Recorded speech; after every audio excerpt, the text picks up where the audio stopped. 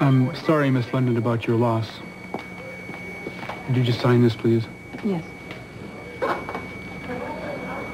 Um, there won't be any further complications upon arrival? Not at all. You can have the car from the funeral home pull right up to the aircraft on the runway. The casket to be loaded directly into the vehicle. Terrific. Thanks very much for your help.